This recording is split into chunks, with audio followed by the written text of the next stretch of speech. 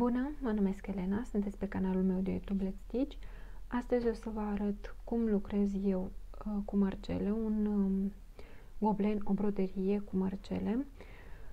Uh, o să lucrez cu două mâini de pe, pe acest gherghef uh, reglabil și uh, o să vă arăt cum prind ața la început la sfârșit și încă plus o să vă arăt în cazul în care avem astfel de porțiuni, de exemplu, dacă mergem din uh, dreapta spre stânga și avem aici 4, 5 sau mai multe, uh, cum fac eu acest lucru? Nu știu cât de corect este, dar uh, pentru mine uh, o să vă explic și de ce este mai bine să lucrez așa. Uh, Ghergheful l-am cumpărat din Moldova, de la Lucas, adică ca să nu există întrebări de unde. Uh, și pe parcurs o să vă mai spun ce, de unde am luat și cum uh, am făcut. Deci, în primul și în primul rând, luăm ața. Eu lucrez cu ață uh, din asta, Invisible. Uh, desigur, putem să folosim și ața anume pentru mărcele, Titan 100 uh, și la capăt am făcut nod, nu știu dacă o să se vadă pe filmare, pentru că este foarte, foarte greu de văzut. Iată aici este nodul pe care l-am făcut și încep ca de obicei să mărim puțin. Deci, mâna dreaptă, eu sunt dreptace, mâna dreaptă o am de sub, la fel ca și la broderia cu ață sau la goblen. Deci, scot acum partea dreaptă de sus, să încerc să mai măresc, pentru că nața este invizibilă. Cu mâna stângă, să încerc să vă arăt cum nu nimeresc.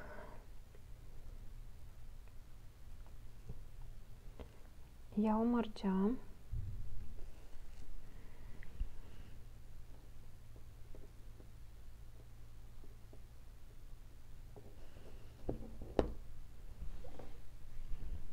și lucrez ca de obicei cum aș lucra orice jumătate de cruciuliță, doar că în cazul dat, se lucrează cu mărgele.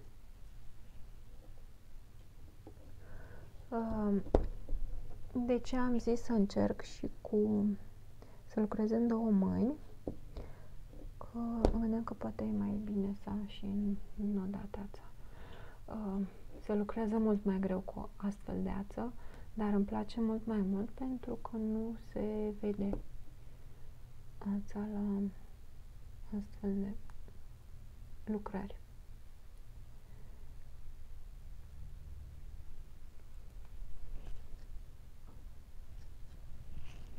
Și dat fiind faptul că lucrez acum și uitându-mă prin cameră, e un pic mai complicat. Deci, merg de la dreapta la stânga cu toate mărgelele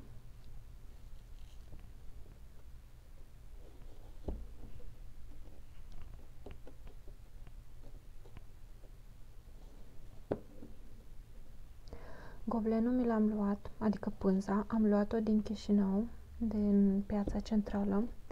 În uh, Chișinău sunt foarte multe magazine unde se pot găsi lucruri anume destinate în broderie cu margele. Uh, în București nu cunosc niciun magazin. Bine, nici nu prea am timp, dacă sincer, să mă plimb prin uh, diferite centre comerciale sau ceva de genul. Uh, în online, de fiecare dată când am fost întrebat, am spus că este, se găsește uh, pe site-ul Pincost, ei trimit doar în România.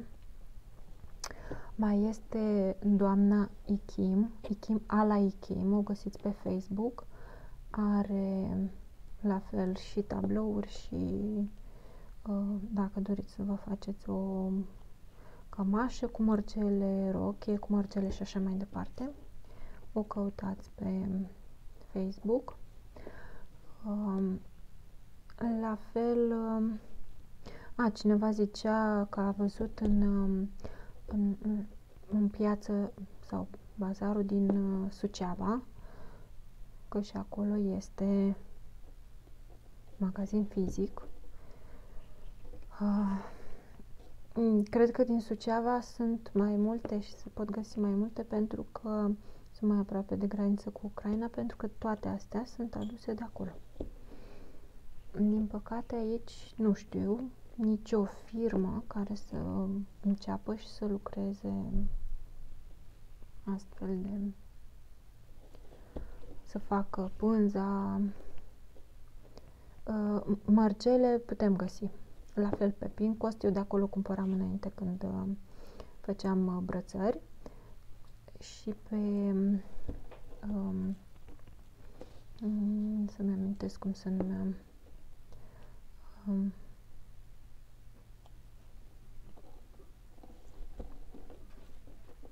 Mm, am mai găsit încă multe, pe multe mărgele, la fel, să mă... Cu mărgelele stă mai bine, mai greu este cu pânza. Deși dacă găsiți un model, de exemplu o diagramă, puteți să o coaseți și cu margele, la fel cum o coaseți cu ață, doar că trebuie să... Aici m-am dus spre departe? Da. M-am dus prea departe. Fără să iau magica.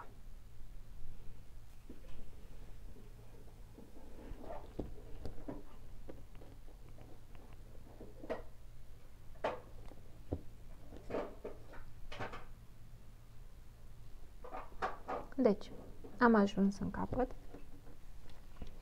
Cum o să fac mai departe? Nu o să mă duc direct până în acest capăt. Nu o să mă duc direct aici, să ies aici cu acum și o să vă explic de ce. Pentru că, fiind dața, ori pot să o strâng prea tare și o să avem uh, goblenul nu o să fie, pânza nu o să fie, uh, o să facă valuri, nu o să fie dreaptă. De aceea, eu mă duc cu, cu acum la următoarea mergea de aici și eu o să le lucrez peste una. Astfel, înapoi o să mă întorc tot pe acest rând peste 1. Iată, am lăsat aici, trebuie să fie altă mărgeluță, o las, o cos pe următoarea, peste una,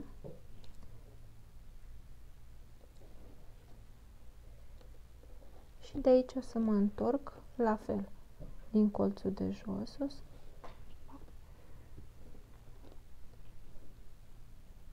ca în primul rând să ajung dintr-un capăt în altul fără probleme. Așa și să nu să nu întindem um, nu ața, ca să riscăm în așa caz să avem um, și iată, sau am cusut acele și mai departe merg ca de obicei cu fiecare mergea cusută. Același lucru o să-l fac și în următorul rând. Aici, când o să ajung, la fel o să merg asta, după care peste al pășesc, aici, aici și iarăși mă întorc înapoi. Uh,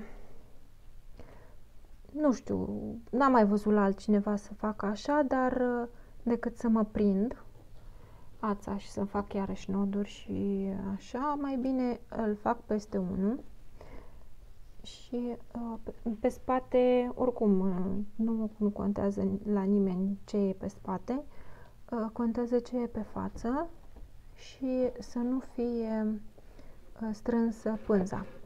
Pentru că riscăm ori aceste măr această mărgea să fie, de exemplu, prea uh, lăsată, adică să, um, să se miște, ori riscăm să avem pânza în valuri să se strângă.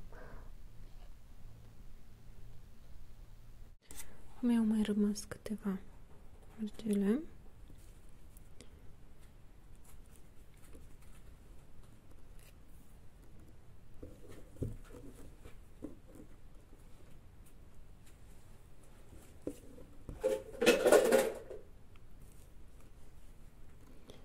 și o să termin rândul și o să vă arăt cum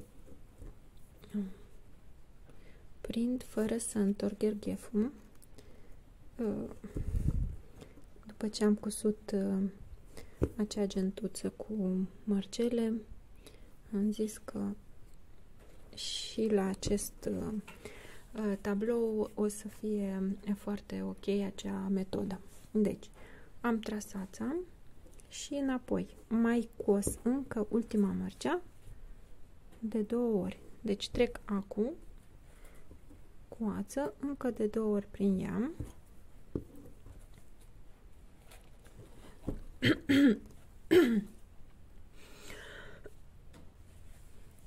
După care mă duc la următorul și mai trec și prin cealaltă mărgea încă o dată și apoi depinde, dacă am de exemplu o porțiune mai mare cusută, pot să mai trec și prin altele.